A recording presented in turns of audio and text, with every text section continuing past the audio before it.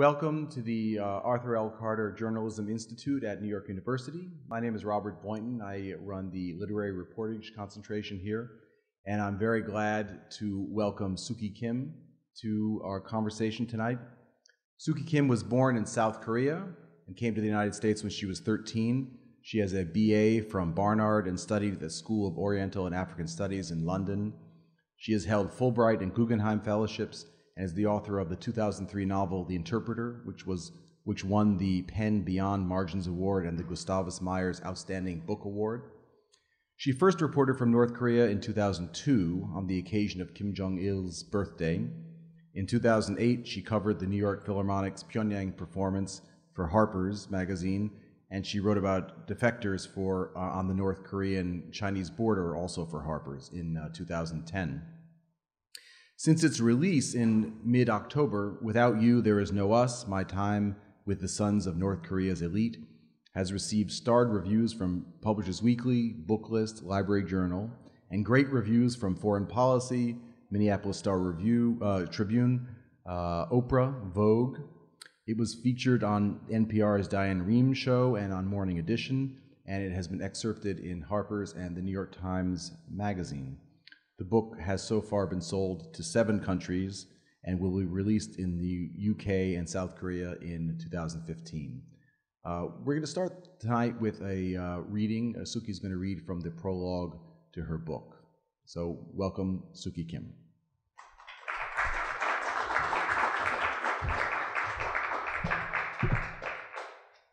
Hi. So, um, hi.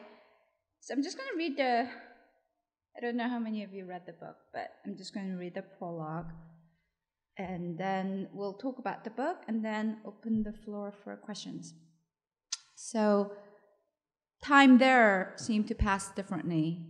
When you are shut off from the world, every day is exactly the same as the one before. This sameness has a way of wearing down your soul until you become nothing but a breathing, toiling, consuming thing that awakes to the sun and sleeps at the dawning of the dark. The emptiness runs deep, deeper with each slowing day, and you become increasingly invisible and inconsequential. That's how I felt at times a tiny insect circling itself only to continue and continue. There in that relentless vacuum, nothing moved. No news came in or out, no phone calls to or from anyone, no emails, no letters, no ideas not prescribed by the regime, 30 missionaries disguised as teachers, and 270 male North Korean students and me, the sole writer disguised as a missionary, disguised as a teacher. Locked in that prison, disguised as a campus, in an empty Pyongyang suburb, heavily guarded around the clock, all we had was one another. So that's the prologue. So Suki, this was actually the book was your this was your third time, as I counted, it in North Korea. You were there in 2008, and then uh, you were also there for I'm sorry, 2002, and then 2008. Um, it was actually my fifth visit. Your fifth visit, okay. Yeah. How did you? How did? Tell me about the other visits and how did you get in this time? Um, I went the first time for the 60th uh, birthday celebration of Kim Jong Il by joining a pro Kim Jong Il um, organization, like a lawyer list for Kim Jong Il. Uh, organization, and then I was chosen as the, um, which I didn't know at the time, but as a youth delegate to hail the great leader. and um, so it ended up being kind of undercover, but like not on purpose. So I went in like that the first time, and I got to really experience it as a VIP. Um, I, you know, I didn't stay at a hotel. I stayed at a VIP quarter and did all the state events um, of Kim Jong Il's birthday celebration. Then I went back for uh, uh, Philharmonic coverage, and of course, the city looked completely different because 100 journalists came in to cover North Korea. So it's a little bit like Cinderella, you know, like you know the it's like when other people come, everything changes, the lights are up, and it just looks so different. And um, then I went in in 2009 for because I was starting to pursue this school. So I went in 2009 to check out the school um, place, and then I went in again in 2010 and 2011 twice. And um, maybe you could describe PUST and describe the circumstances there, what you went into, what you signed up for. Uh, I just, you know, it was during the Philharmonic coverage that I found out that this odd thing, I mean, I, odd, the school was being built. I didn't, it seems so unfathomable. There was this school, the school didn't exist yet in 2008 because it opened by the end of 2010. Um, but actually, I met, you know, Philharmonic trip was an odd one because I don't know how many of you remember. All we saw was there was this concert in Pyongyang by New York Philharmonic, but there was a lot of backstory. And there was, you know, uh, funders who put in a lot of money for that concert to happen. So there were these incredibly rich people who funded it. So, because North Korea didn't put in a penny for that, obviously. So, um, I was told by one of the richest people in the world's, um, I guess, wife, that the school was being set up. Like she, you know, knew about it. So immediately I asked her to refer me to the founder of the school. So I applied for a job.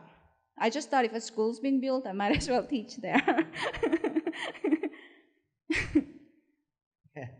uh, maybe you could describe a bit about the school. It's certainly, uh, I too had the same reaction about uh, the idea of a missionary school there, the idea of any school set up by outsiders there was so odd. Uh, what were the parameters of the school? What was the purpose of the school? How, how did the school describe itself? And, and then we'll talk about how, how you describe it. Well, you know, oddly enough, they never described it as a Christian uh, missionary project. They just said a school is being built in Pyongyang, in a suburb, and all the teaching staff will be foreigners. That's all I knew. And I went, I submitted my resume and I went through, like, I got recommendation letters. It was just like any other job. But then I got an interview and they still didn't say anything about it being Christian. It's not Christian, it's actually a fundamental missionary, so that's different. Um, so I just thought of it as just this, this somehow I what I imagined was that this was a propaganda tool for the North Korean government to set up a school that looks really good on on surface, so that they can you know invite reporters in. That is since what happened. You know, like BBC will go in there for three days and then come out with a photo of a very good-looking school and good-looking students, so that we can pretend it's an NYU. which it's you know in Pyongyang. and it doesn't it kind of looks like NYU in Pyongyang basically, except you know once you're in there for longer than three days, you realize it is North Korea. I mean, it wouldn't be that unusual. I mean, the North has set up churches in Pyongyang to show that there is freedom of religion. These are sort of these Potemkin churches, as it were. So the idea of a Potemkin free university or a free thinking university is not uh, not all that strange, really. No, oh. it's not. There's a lot of like, like, um, it's just a, such a strange concept. But there are a lot of things like, you know, there's an election booth in Pyongyang, an election day. But I mean, we know there is no election there. So it is kind of like theater aspect to it. So, so okay, so there's, there's this uh, this institution, PUST, uh, where um, you are teaching. There's no mention, no discussion about uh, there being a particular fundamentalist or Christian, uh, uh, uh you know, curriculum. Uh, what, what, who were your students and what were they like? So my students, I didn't know either. You know, because you know the thing about anything that has to do with the North Korea project, they're not really going to explain to you what's going on. and you also don't ask a lot of questions because if, if you ask a lot of questions, they might kind of not want you there. So I think I just kind of didn't ask. That's a part of why a lot of it ends up unfolding like a mystery. And then um, I found out when I got there in 2011 is when I went in, in July. And I found that all the other universities in North Korea were shut. Like they had closed every university in that whole country and sent the university students to a construction field. And only this school was in existence, which was such a weird phenomenon. And what that meant was these there were 270 of them. Now there are more. The school's still in existence. That these students were the creme de la creme of North Korea. They were the sons of the elite. Everybody else is in construction field. Every 20 year old who are university students of North Korea were in construction field in 2011, except these 270 young men.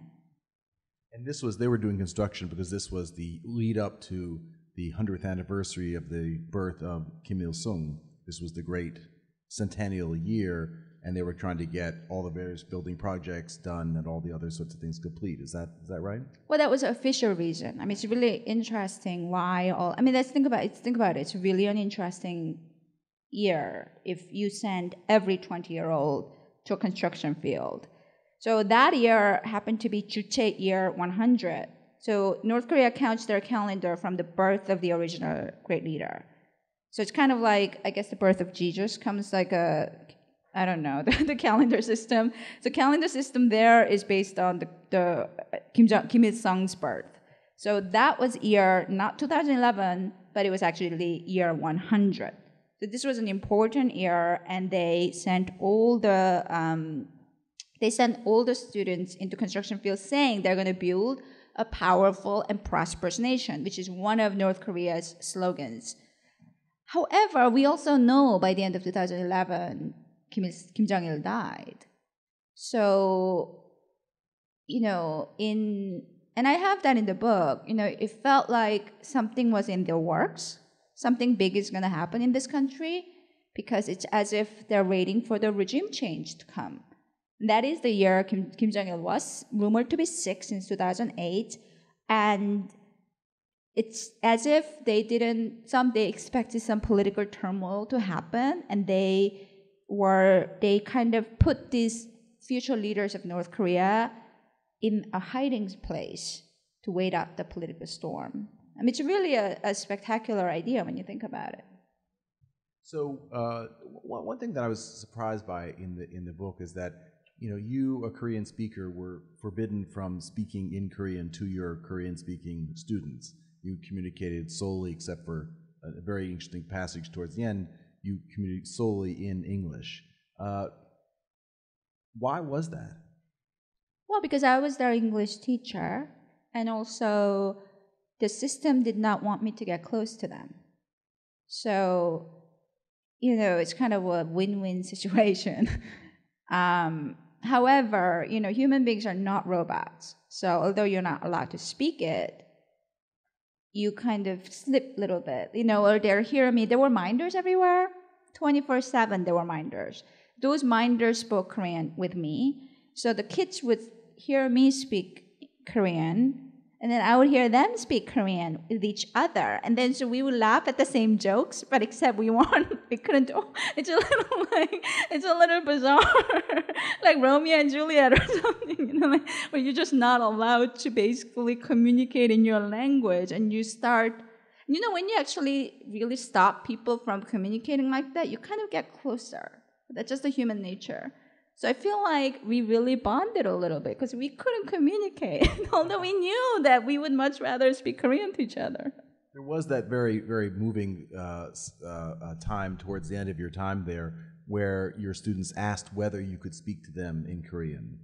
It is the only request my students made of me the entire time I was there. I was there through the six months of Kim Jong Il's last, um, you know, his final year because I, I, was there when Kim Jong Il died, and my students never asked me. We got very, very, very close, more and more as the time passed.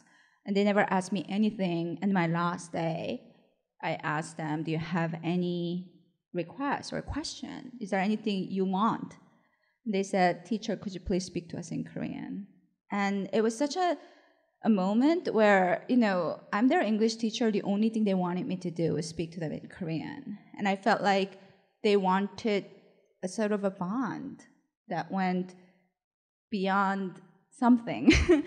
and it really, I mean, I broke down, you know, because, and I wasn't allowed to. So I broke the rule and they broke the rule in a way. It was their final moment together. It was me talking to them in Korean. And I thanked them. And Koreans bow when you thank each other. So I thanked them and I bowed to them for um, letting me be their teacher. And I did say to them that I, which I never did in English, but in Korean, I did tell them that I, I um, really love them and will think about them always. That came through the, your love for them and your real uh, connection with them came through the book over and over again. Uh, I, I, mean, it's so so interesting. I mean, you know, to people who don't understand enough about the dynamics of reporting on North Korea, the, the regime is incredibly smart about the limitations they place on reporters and just about anybody else. And then they also very smart about managing the time that anyone does spend there. So very few reporters get to be there for more than five days or so. Uh, and you've had this extraordinary experience. You've had, been there far longer than anyone I know, and certainly in continuous amount of time. Um, I guess what I was wondering is, you know, you've had a an inside view, not so much of the country, although you did, but you were very limited, but you've had an inside view of something even more valuable of the next generation of leadership, should the regime survive. And how did you, what did you take away from your intimate sort of experience with these students and your real love for them and your thoughts about what kind of leaders they would be and what kind of future they could envision for North Korea? Know, I think that was a really um, upsetting, I mean, more than upsetting thing about being there is that, you know, there are two separate things, which is the people and also the system. And people, they're just like other college kids. You know, they giggle about girls all the time and, and just adorable. And also because they're so sheltered, they didn't even know what the internet was. So, and they're the Pyongyang University you know, PUS is Pyongyang University of Science and Technology. If they don't know the existence of internet and their majors are computer, then it's really like they have no idea. They had no idea about so basically anything. And um, but what that also meant was that they were so innocent on some level and like pure. you know, they really like they would just all get up when I get into a classroom as a teacher, you just never see a college student who all blush when they have to talk to you and just bow all the time, so obedient. And this quality was, on some level, very, very disturbing. Another level, quite, it's the thing that I feel like we lose a lot somehow is the respect and, you know, listening. And there was that to them that I found unbelievably lovable and yet disturbing. But their system was, uh, it's, you know, when they say it's the one most, um, you know, it's the, it's the biggest violations against humanity in North Korea is unsurpassed the level of violations. And that is what you have there. And you feel that on a daily basis. There was absolutely no freedom, none whatsoever. And, you know, it, I mean, what kind of leaders could they be? I mean, it all depends on their system. And their system is, I mean, beyond anything, there is just zero, zero, zero freedom for one second of their lives. And these were the sons of elite. Did you find that they had, I mean, you were often, there, there's wonderful passages where you're asking them to write different kinds of essays and sort of really thoughtful questions. And, and part of me was thinking that you were asking them to uh, explore parts of themselves uh, for their own sort of salvation in some ways. Did you find there was anything that they particularly were either good, especially good at writing about, or especially bad at writing about? Well, it's not. There's no other thing but the great leader. So it's like great leader, great leader, great leader. There's just literally nothing else. Um, the whole essay writing thing, you know, because teaching there meant that you had to get everything approved. So, and there was a group of people called counterparts, and you just they had to approve anything you taught. Um, so I somehow got essay writing approved because it was an English writing class, reading and writing. That's what I taught. So it wasn't. I mean, I had to teach writing. and that does start from writing a paragraph and essays. But when you think about it, I didn't think about it literally up until when I tried to explain it to them. What is an essay? Essay, three paragraph essay is what? A thesis sentence, introduction, a body paragraph full of proofs, and then conclusion. You know, you do have to prove your thesis. That's the whole point of an essay. And they could not grasp it. It was like impossible to try to teach that. They could not grasp an introduction, what that meant, because the great leader doesn't require introduction. Proof, it just went nowhere. No matter, just concept-wise, they could. Conclusion also doesn't exist there. It's all the same pace. And trying to get them to come up with a thesis was an impossible thing. So we spent all this time trying to get them to understand how to and i realized what i was trying to teach through essay and i didn't realize like that's what my teachers taught me when i learned writing essays for the first time that it's about critical thinking which they didn't they're not allowed to have that thinking in, in north korea so i think i found that experience to be really alarming and i mean one of the critical moments in the book is when they really um, one student did say to me because every day they had to go write. You know, every day also there, all the students had to go take classes in Juche. Juche is North Korea's foundational philosophy, self-reliance. And the North Korean, they always write to Juche compositions. And every single day, they write these compositions about the great leader. And he said to me, wow, like, it was weird because he realized those Juche compositions are also essays.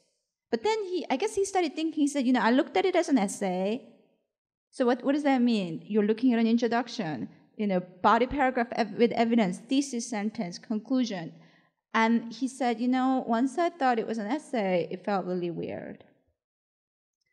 And my heart sank because I realized what that meant was he was now beginning to question his system. And those were moments that I found very troubling of who they are but also troubling for my own motive for being there because like what's he going to do if he starts questioning his system? He's stuck in north korea. So if i want him to be safe this was not exactly the right kind of a lesson. So i mean it's, it's very uh, i think the complexity of that is that if he starts questioning his system then that's the whole purpose right? Open that world up.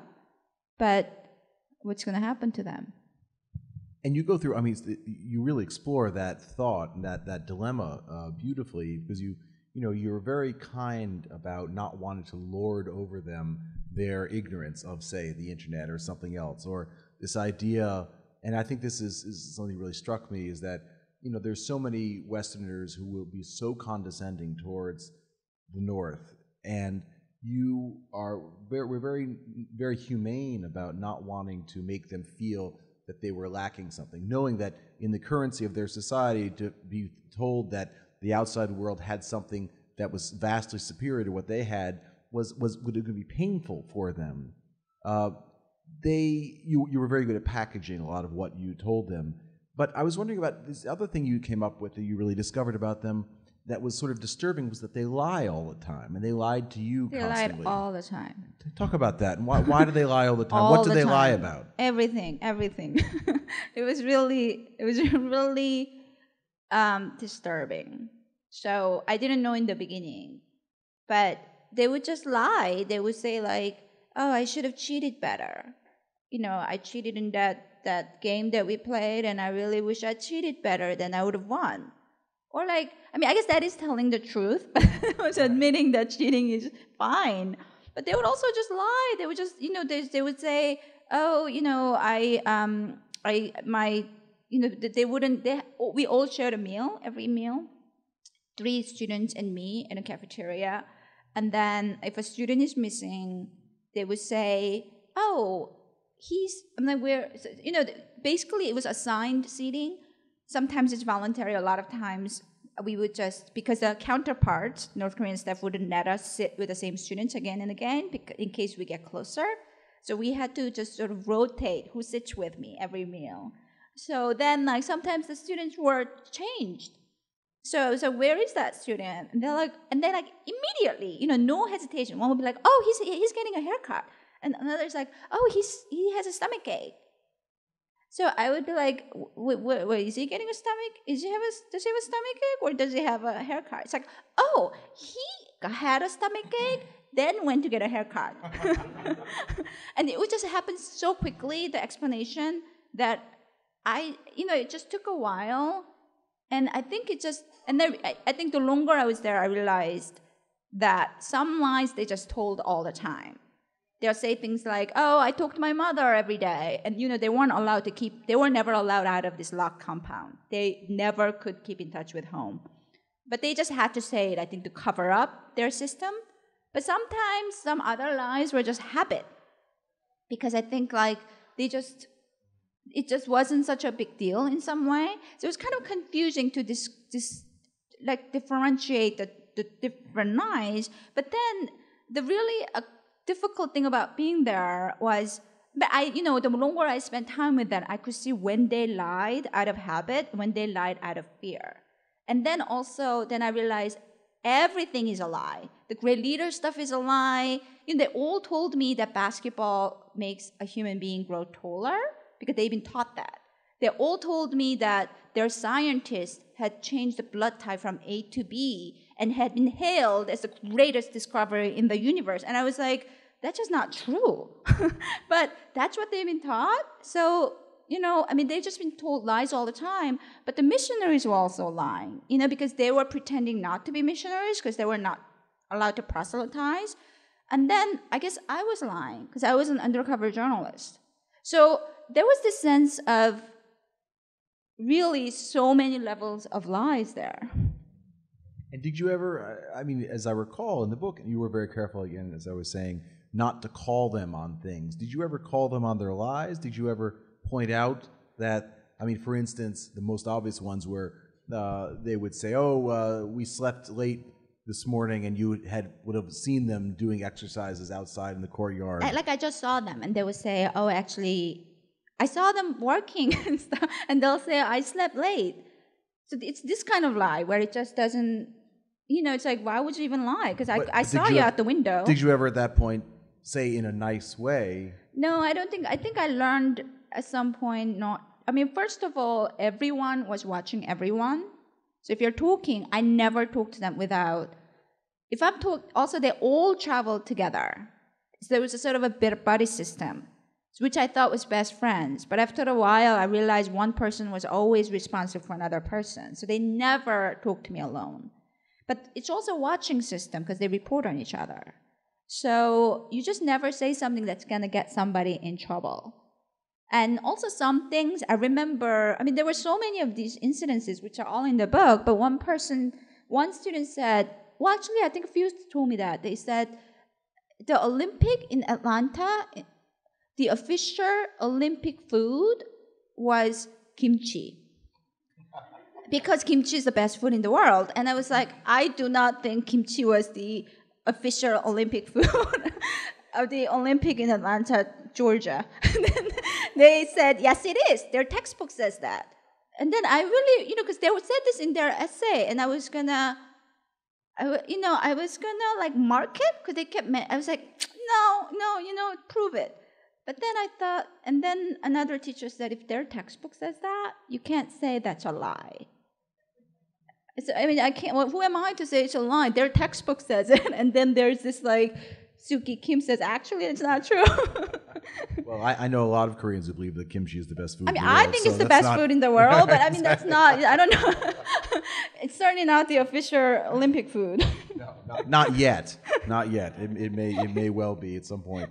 Um, the, the, your, your, what was life for you like at PUST? You, you, you described being quite lonely. You had this relationship in Brooklyn you're able to sort of communicate with via email in some sort of stilted way. But what was the lived experience? You sound like you were very shut off uh, during that six months. Oh, it was miserable, absolutely miserable. Um, I think the I think someone actually commented that the book is really. They, I mean, they build it as a memoir, and it's really personal.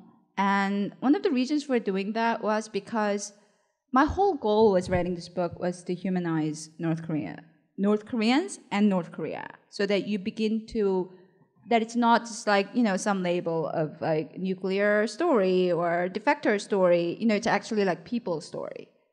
So what that meant was I also had to be humanized. You know, I'm not a journalist looking at my subject. So I became a person, Suki, living with these young men. So you know, it's almost like really like a diary. So I'm crying a lot. You know, it's really, really bleak. And also, I was with missionaries, like serious missionaries, and it was just so lonely on so many levels. But also, um, you're just never alone because minders are watching you all the time. They bug everything. Everywhere is bugged. The campus was designed in the way everywhere you can see everyone. It's almost like circle and there were these road walkways that had windows on both sides. So even if you walk around in those walkways you can be seen. And they can so there was this really sense of absolutely nowhere you can go. But even in your room i was told that basically just don't say stuff because it could be you know somebody's watching. And i think this sense of never being alone was maddening at some point and also, like, you know, you don't, when you're talking to the students, and you're never allowed out also physically. I mean, we went on a outing to stores with a minder guided bus trip. I mean, those were dreadful too. And then we went on this minder guided sightseeing tour. But even the sightseeing tour, it didn't matter where you went. You would go to an apple, they would take you to an apple farm but the apple farm wasn't really about apple farm. It was because it was the great leader's 11th wonder of the nation. So they would talk about how the great leader hailed this apple as the best apple that he's ever had. And the great leader stood right here saying these words about this. I mean, it was like it literally had nothing to do with the apple farm. It was about the great leader. So I think like this relentless deja vu. It's not even deja vu. It's like that great groundhog day kind of. You know, it's like you're just playing re- replay over and over and over. And I think that's what makes the loneliness deeper. It was really, and they were never allowed out. I mean, so it's this, it's really a start, it's that deja vu feeling. Like, I did this yesterday, and I did this yesterday. And then another thing that drove me, I think, mad was because I was always circling my, what I might have said. Because if you're having a meal, or the classroom was also recorded, so anything you might have slipped in your speech could get not you in trouble, but also the students in trouble. So every meal afterward, I would have to replay in my mind. Like, did I say something? Was that something that should have that they could have reported to the you know power, and then I could get. So I think this replay hitting a replay is a very difficult one. W- were there ever any repercussions? I mean, was there anything you ever said that was clearly had reverberations beyond you? I think, you know, in my own way, I tried to be clever, which I wasn't allowed to be. One of the rules, they gave me these pages and pages. The thing that Har- Harper's excerpted was the rules, what, what I was allowed to do there was very little. I wasn't allowed to do anything. Like I wasn't allowed to talk about the outside world. I wasn't allowed to wear jeans because Kim Jong Il doesn't like jeans. I wasn't allowed to um, say like, oh, it's like that over there. In our, you know, it's like the, the food here is nice, but the food back home, like you never do that. Um, so I think because there was so little that I was allowed to do. What was the question? were there ever? Did you ever break a rule, and were there repercussions? Did you have a sense that someone had listened or heard, and that someone was getting in trouble, or that you were being reprimanded, or anything like that? I think that I I personally wasn't. I think this uh, one of the missionaries was. Um, oh oh I know. One time they it you know repercussion was not if you proselytize like give a Bible. I think one of the teachers got sent back for that.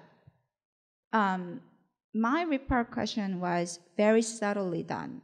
Like I tried to be clever with my lessons. I included because they didn't know who Steve Jobs was, and Steve Jobs died when I was there. Because I had the CNN Asia in my room, the students had like the North Korean channel only. So they did. We had a even in our faculty dormitory, we were. I mean, the teacher dormitory had the CNN Asia. Kids, the students dormitory only had you know Chosun Jungang, the central TV. So when Steve Jobs died, I tried to drop Steve Jobs a little bit, but they didn't know. But they were computer majors, so I I I found these essays because the theme we always had a theme every lesson. It was about education, so I I added these articles I found that mentioned Steve Jobs and Mark Zuckerberg. And I thought this might make them because especially Mark Zuckerberg was a college dropout, right? So I was like so it was like the article that mentioned he was at Harvard and dropped out. So I thought they might be interested. He became like the youngest billionaire of the world. He invented Facebook. I mean, that would have meant Facebook would have meant nothing to them, but I thought they might like this.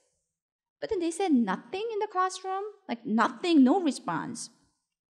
And then like the next lesson, because they were all writing an essay right at the time, they all wanted to change the topic of their essay. And suddenly it became all about how evil America is.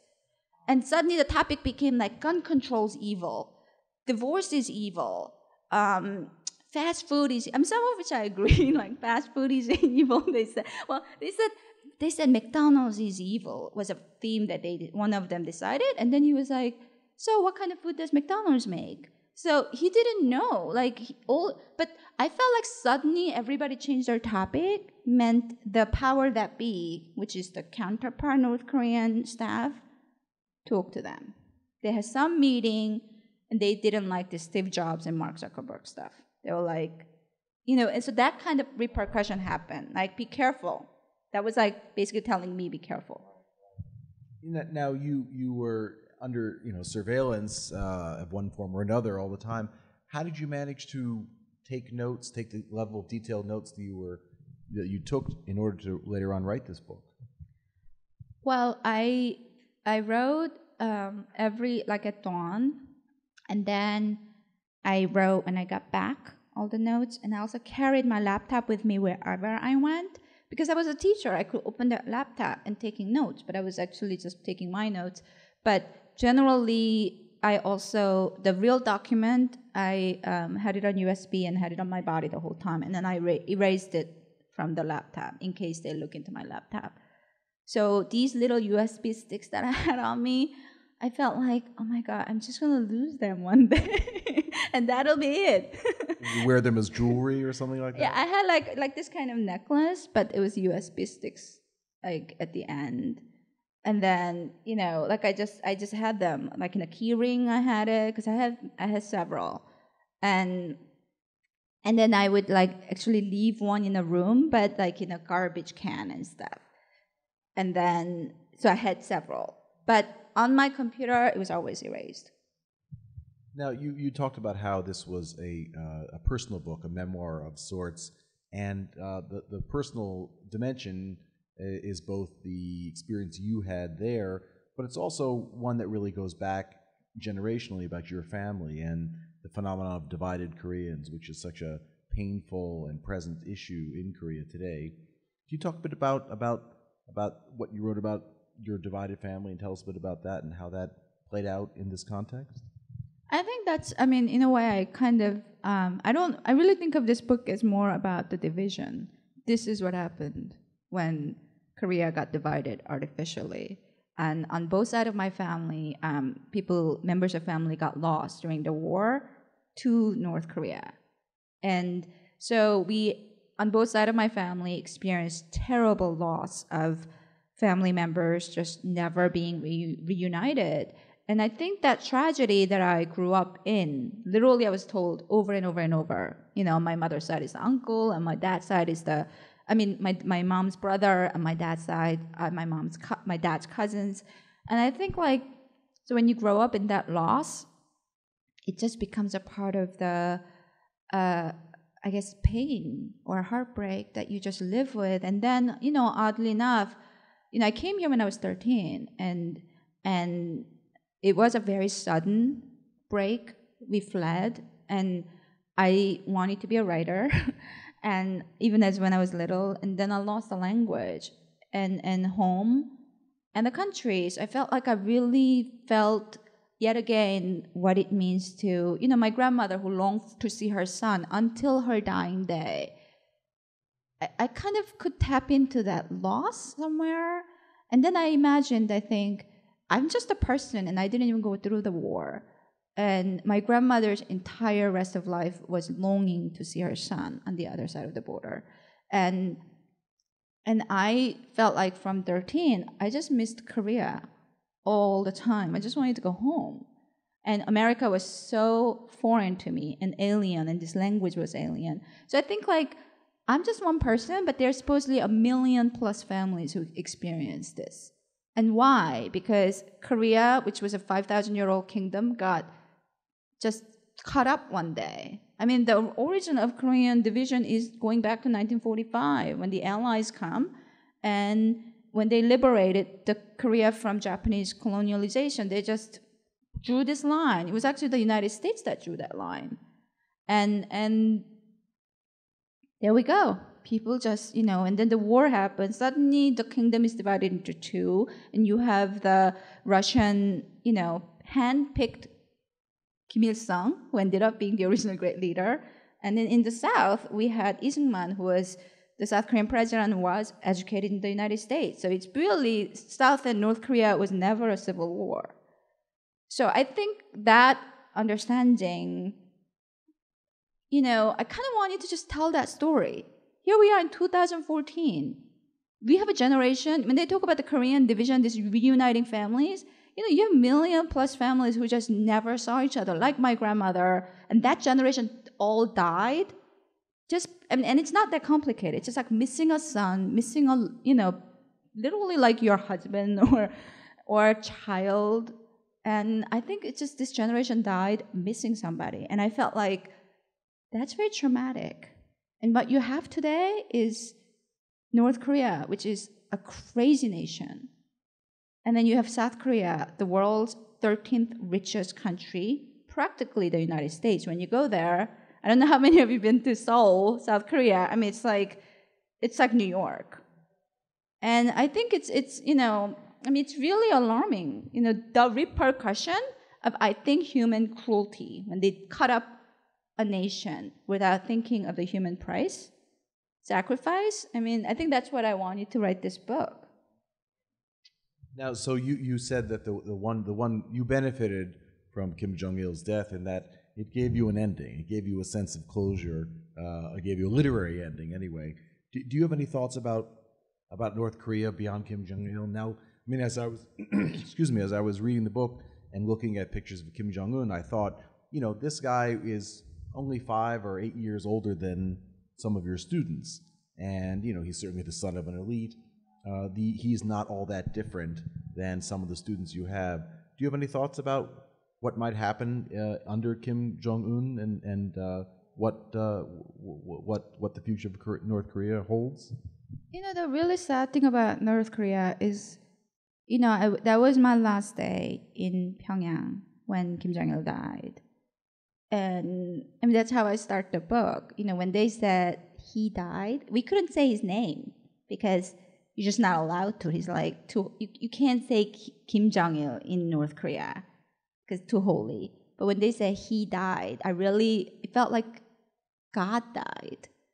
You know, and I was also with all the missionaries around Christmas time. So it really was like, wait, wait, Christmas, this is about birth. Like I was really momentarily confused of this death that, and then I, I found out Kim Jong il actually died. And of course, it ended up being the final chapter and the beginning of the book because you know it, it perfectly now um, captures one era. But I really, sincerely, found it heartbreaking for my kids because they really were shaken up beyond belief. And I, I mean, you know what I remember about Kim Jong Il's death was because they were so heartbroken I mean, I was crying. I wasn't crying for Kim Jong Un, Kim Jong Il's death, but I was crying for my kids who are now so absolutely sad. Because when you love someone, you are sad when they're sad, and And I really hoped in the back of my mind, I knew I was leaving and I would never see them again, and I will never see them again. But I was hoping that this meant their world is better, that their world is changing and will be better.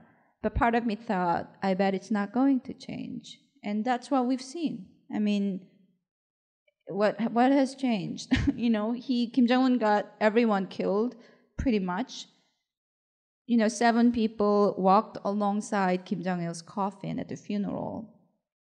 Out of those seven, five are missing. One dead, the other rumored to be dead. These are the power wielders of North Korea you know, all seven have basically been killed, sent to a gulag, or demoted and one of whom was Kim Jong Il's uncle. So, I, I mean, literally nothing has changed on some level. Some people will claim things have changed, but we're not seeing it. Any questions? Yes.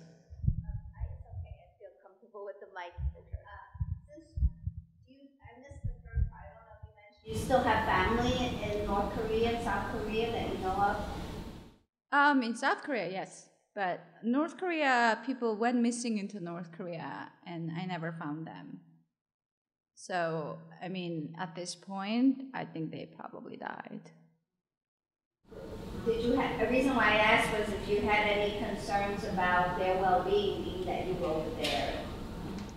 Um,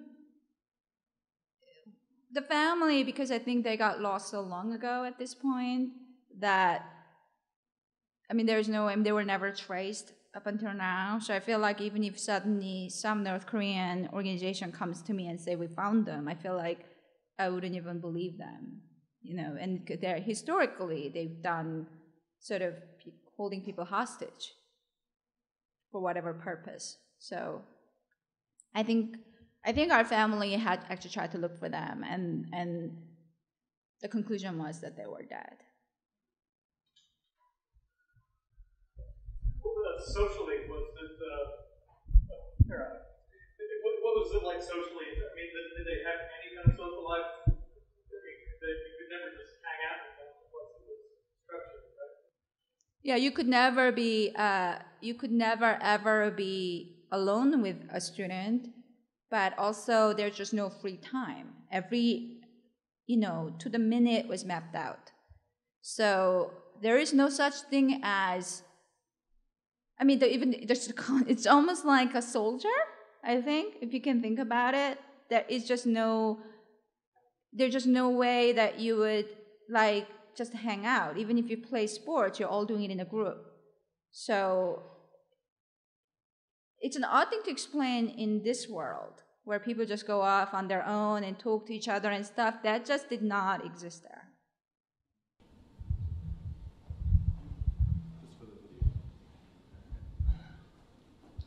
Um, you said something about the regime having not having been changed over the years, um, and you did mention the seven great figures having gone missing or either dead or just eliminated.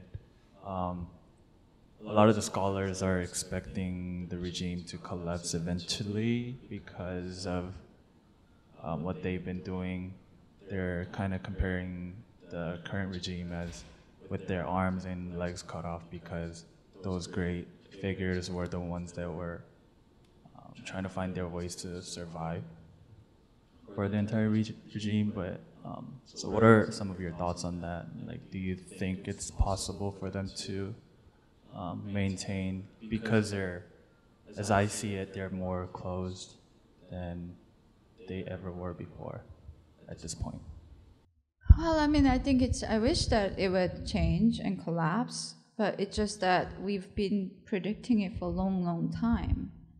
You know, they went through a famine where a tenth of the population died, and we thought it would fall. It didn't fall. And, um, I mean, the problem is, you know, great leader was always a symbol. I mean, there is actually like a group of military, you know, people at top who always ruled North Korea. We just have different characters now. And I think for them, it just, I guess, fall of this regime, it's not just because even if Kim Jong un died, it would not fall, I don't think, because you have people who are really ruling, leading North Korea right now.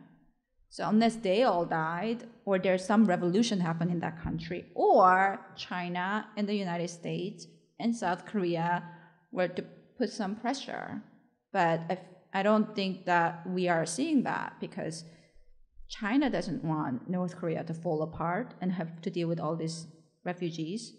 South Korea doesn't want to feed North Korea. It's already feeding North Korea to, you know, America wants nothing to do with it. so I feel like I don't know what, you know, unless there's some movements there, I don't see how this is going to change. Hi. Um, I was in Pyongyang a few months ago, and one of the tour guides they said um, they have their own in North Korea they have their own internet, which is the inter intranet. Intranet. Mm-hmm. Um, can you briefly describe your interactions with that? And next thing, did the students? Um, when I was in Pyongyang, some of the uh, tours that we went to school they said um, the students have a choice of learning Russian, Japanese, or English and Chinese. So did your students like learn any foreign language other than English? Uh, I know that uh, intranet, first of all, is a North Korean version of the internet. But my students thought that was the internet. And intranet is a downloaded information. So you could go to a site and then put a press, you know, it's like a library information. You know, when you go to a library and then you just go boom and then there's already an information that's downloaded that's pre-selected, that's intranet. So it has nothing to do with the internet. Um, but that you know they think that's what we all use as the internet. And the um, what was the Pyongyang question? Um, the four languages. Oh, they do. I know my students actually. One did uh, say that he studied Russian I think I changed that in the book too. No, I think I think he did he did run. You know, their only friends are Russian and Chinese. I'm surprised by Japanese because that I've never heard. And Japan is their you know number one enemy along with the United States and South Korea. So I cannot imagine Japanese being taught there.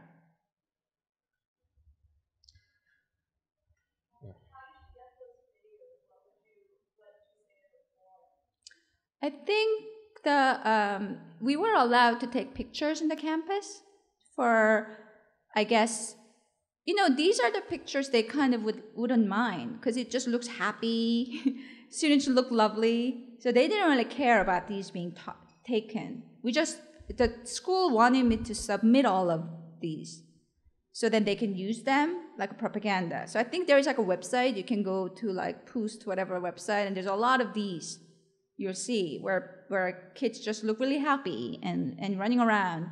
So it was not really a problem. I think I did tell them that just for my like when I was teaching, I think another teacher was passing and I said I would just like to have it for my keepsake.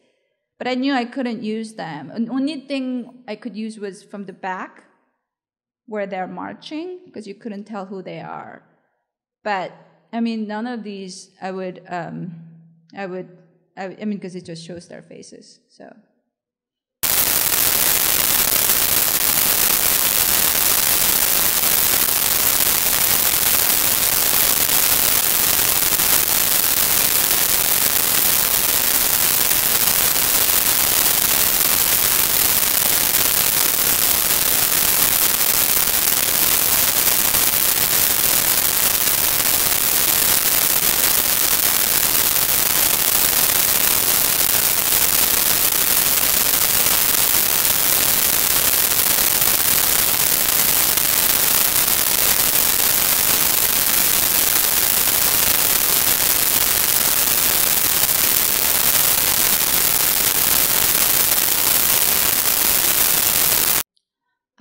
thought about, I mean, I did start out as a novelist. I never thought about North Korea as a fictional topic for me because I think it is just too real in my mind. You know, it's almost like autobiography or something because I think I was writing about my pain. And we do that as a novelist.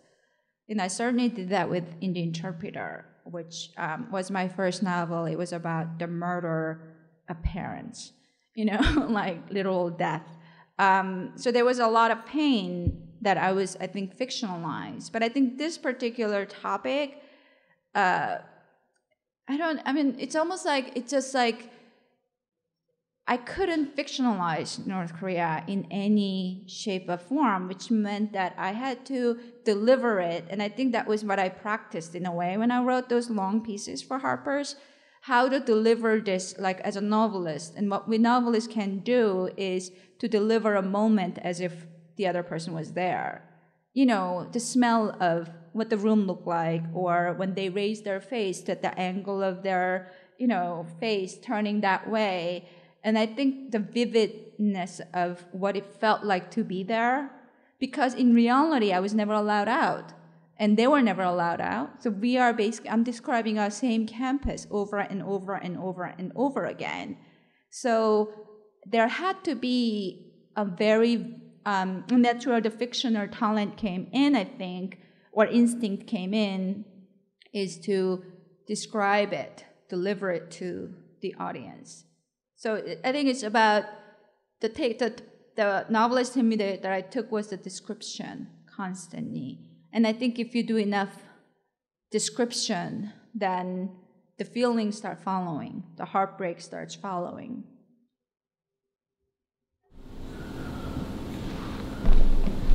Do you think there are writers in North Korea? Fiction writers?